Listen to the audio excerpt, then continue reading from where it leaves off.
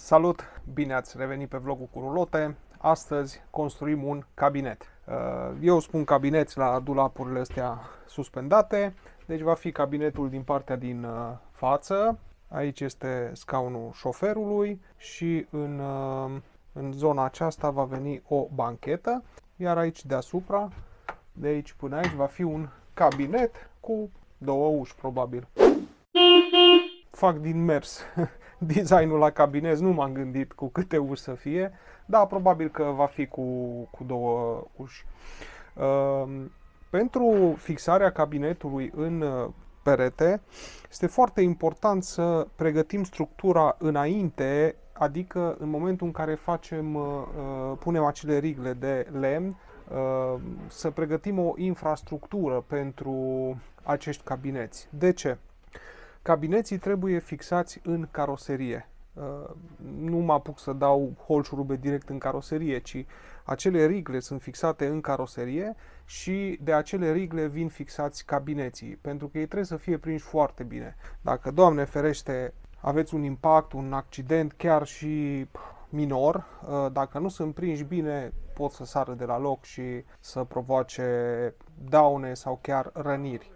De aceea este foarte important, cabineții trebuie prinși cât mai bine. De altfel, când mergeți la uh, reare pentru omologare, uh, una din uh, acțiunile pe care le fac ei acolo este să facă, să verifice uh, această prindere a cabineților, uh, să se asigure că sunt fixați bine și că nu există riscuri pentru siguranța pasagerilor. Eu mi-am prevăzut aici o riglă și aici o riglă. În două puncte vor fi prinși cabineții, uh, inclusiv la conversiile de fabrică, așa se face, sunt, uh, sunt prinși aici jos și aici. Uh, dacă nu mergeți pe varianta asta și faceți, nu știu, unghiuri mai drept, deci nu faceți curbat, atunci mai puteți să prevedeți și aici o riglă și să prindeți și aici cabineții.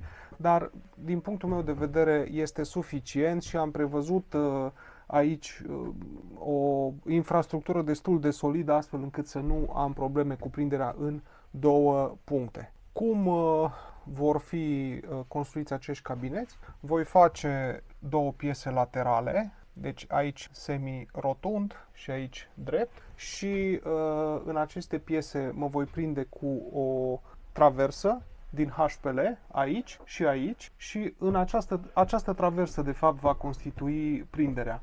Iar în uh, partea de jos voi pune o placă de HPL astfel încât în momentul în care uh, cabinetul este finalizat, jos am HPL și în interior când deschid uh, cabinetul va fi va avea finisajul uh, ca și restul uh, conversiei cu acest placaj texturat. Pentru uh, confecționarea acestor cabineți este foarte important să știm să lucrăm cu șabloane. Nu ai cum să copiezi uh, această curbură decât prin șablonare. Și atunci cum uh, procedez cu aceste șabloane? Ca să nu stric foarte mult material. Prima dată îmi confecționez un șablon din carton. Adică, efectiv, iau o bucată de carton și tot o tai până are o formă cât de cât asemănătoare. În momentul în care am ajuns la o formă cât de cât asemănătoare, folosesc un compas pentru a copia curbura. Adică așa. Bineînțeles, scopul meu este să am pierderi de material cât, uh, cât mai mici.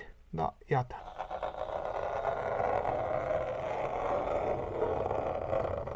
Puteți să vedeți pe uh, șablon, dacă se vede pe filmare ar trebui să se vadă. Aici este linia care copiază perfect uh, forma placajului, forma peretelui. După ce sunt mulțumit de cum mi-a ieșit uh, șablonul, adică cel de carton este perfect, îl transfer pe un placaj. Tot așa un placaj de uh, șablonare, un placaj de 5 mm am aici și procedez la fel, mă duc din aproape în aproape. Nu o să puteți să finalizați șablonul dintr-o singură marcare. Adică o să trească să faceți de două, trei ori să tot tăiați până când ajungeți la o formă satisfăcătoare. Ăsta l-am uh, făcut deja. Ia uite.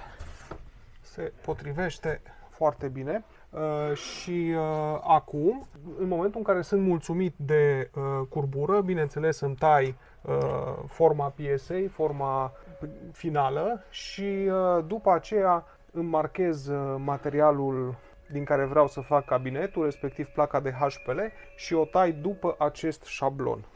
În felul acesta suntem siguri că avem uh, o piesă care se potrivește perfect sau cât mai aproape de perfect cu peretele nostru.